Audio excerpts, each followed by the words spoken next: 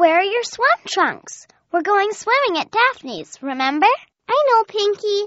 I just don't feel like swimming. Why not? The pool is so much fun. It is fun, but. But what, Tyler? Daphne's pool is so much bigger than the one in Smack Dab Park. It's really, really big. Yeah, it's gigantic.